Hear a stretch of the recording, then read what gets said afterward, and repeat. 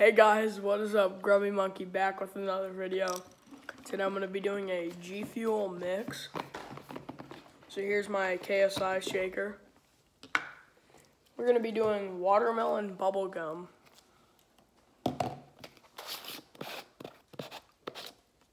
So let's get the scooper out.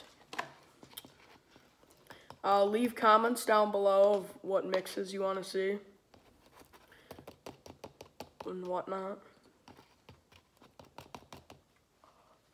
Is that a half, you think? Know. What's up, guys? I'm just in the background. Henry came out as gay the other day. Are. Ah, never mind. Just kidding. He didn't. So here's half a scoop of bubble gum flavor.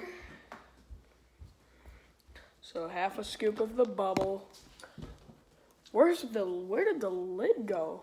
Oh, it's right here. Okay.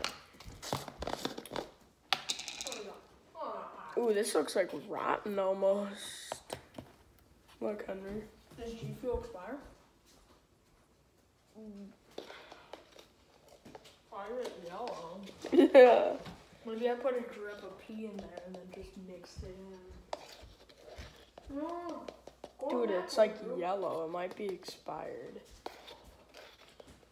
Just get a little finger taste.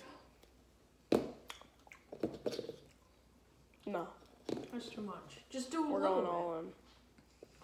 But then. Well, what if it's bad? What am I gonna scrap this video? No.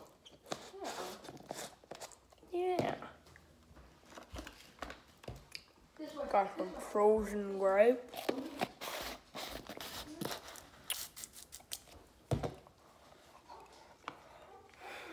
Let's put the lid on it. Obviously, it's gonna make a pink color.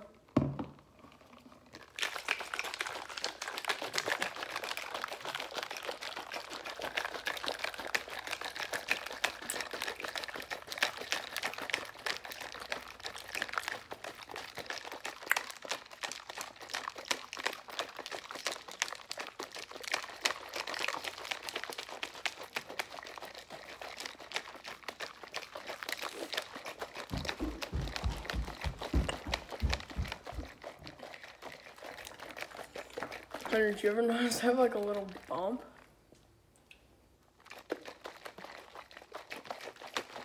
Like where my, whatever. Is this a time lapse? No, Seven, seven. it's not. Okay, so it's like a pinkish reddish color. It reminds me a lot of what the raging gummy fish looked like. So let's give it a test. I'm getting the watermelon first. With a little bit of like a Clorox taste.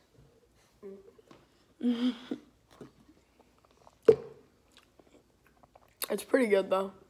I mean, you get the chalkiness of the bubble gum, and the uh, watermelon flavor hits good. So yeah, I would give it like a